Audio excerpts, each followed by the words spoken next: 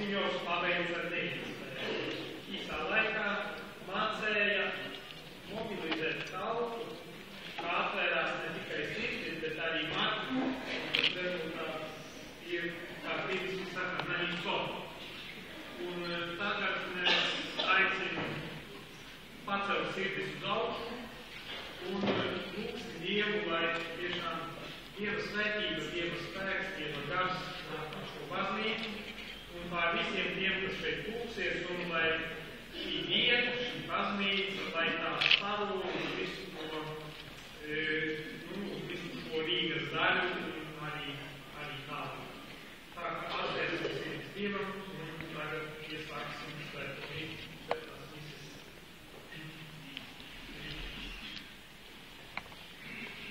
Mīļotie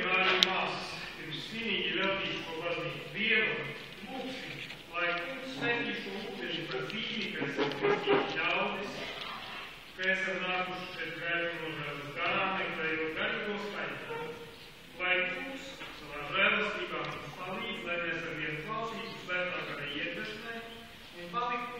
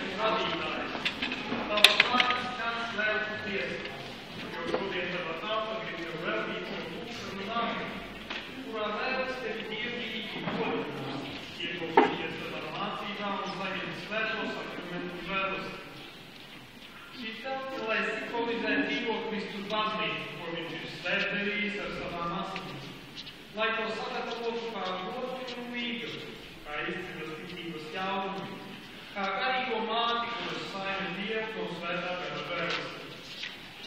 Svētā baznīca, izvēlētais un gamīdināts, kura zaļā par visu pasauli un kura augļi tiecas pretī debesīm. Brīnišķīgā baznīca, Dieva mājiens starp cilvēkiem, svētais templis, kas no dzīviem akmeņiem celtu labstuļu pamata, un stūrakmenis ir pats Jēzus Kristus.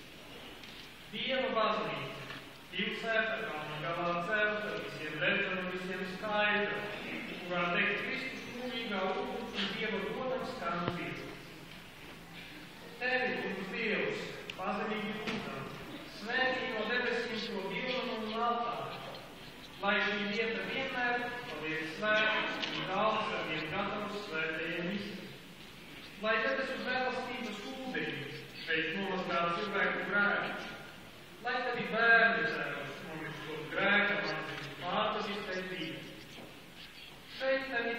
ticīgie altāri stāvot, Kristus dievdien upura pieņem svinot, lai stiprinās ar Kristus vārda gaismu viņa miesas sakramentu. Lai skan šeit slavas dziesmas, kas iedojas ar eņģeļu balsi un par pasaules pestību. Lai atveras uz tevi nemitīga lūkšana. Šeit nāks, lai atdod žēlastību, nospiestais iekšējo gara brīvību un kāds cilvēks Dieva bērnu cietu kamēr viņš aiziet un mūžīgos aizvietas debes. Mēs te